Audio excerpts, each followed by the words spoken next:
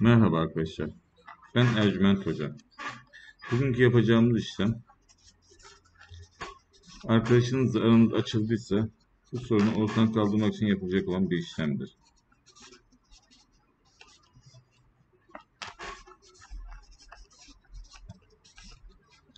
Nokta nokta koyduğum yere adını, doğum tarihini ve anne ismini, buraya da arkadaşın adını, doğum tarihini, anne ismini alt alta gelecek şekilde yazıyorsun. Daha sonra bu kağıdı evin etrafında bir yere toprağa gömüyorsun. Bunu nasıl yapacaksın? Bir ekran görüntüsü alıp bilgisayar çıktısı alman yeterli olacak bunun için. Özel bir işlem yaptırmak istersen ya da benimle görüşmek istersen bana WhatsApp üzerinden ulaşabilirsiniz. Allah'a emanet olun. Merhaba arkadaşlar. Ben Ercüment Hoca. Bugünkü yapacağımız işlem rızık açma işlemidir. Rızık açma işlemi bereketinizin açılması, rızkınızın açılmasını sağlayan bir işlemdir. Nokta nokta koydum yerlere. Adınızı ve doğum tarihinizi, anne isminizi yazıyorsunuz.